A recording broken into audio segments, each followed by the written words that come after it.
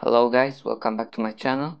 In this tutorial, I'm going to show you guys how to jailbreak your PS3 and 4.91 and how to enable hen.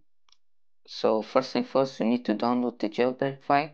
To do that, go to your uh, browser and go to this thing. I will put the link in the description and scroll down, click on not robot. Scroll down and wait for, for it to open.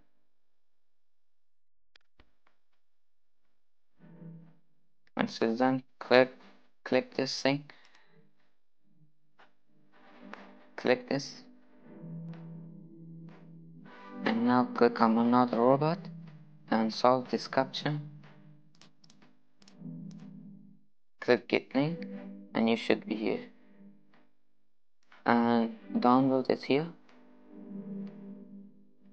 I already downloaded so I don't need to download it again. So once it's downloaded insert your USB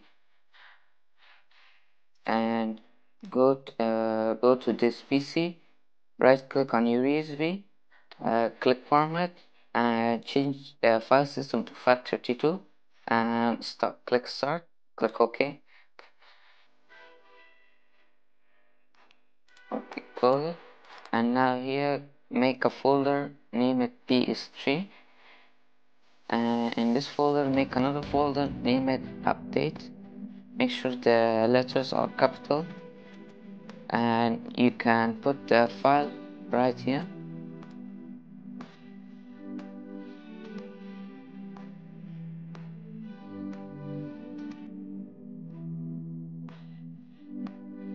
Once it's done right click on the file click rename and remove these and now it's done we can go to p3 once it's done let's go to p3 so here go to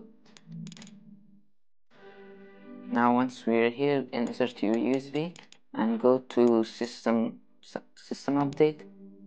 Go to update via storage media.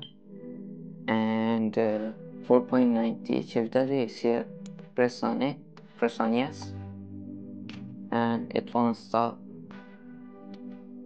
and wait till it's finished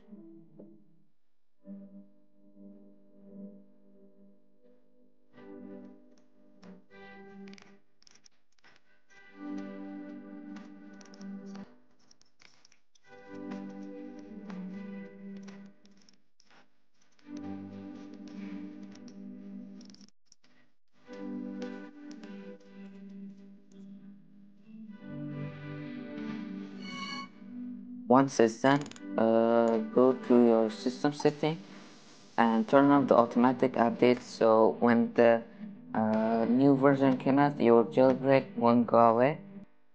And that's it for today guys. And the next video I'm going to break down how to enable hen and your jailbroken pieces. So make sure to subscribe and I will see you guys in the next video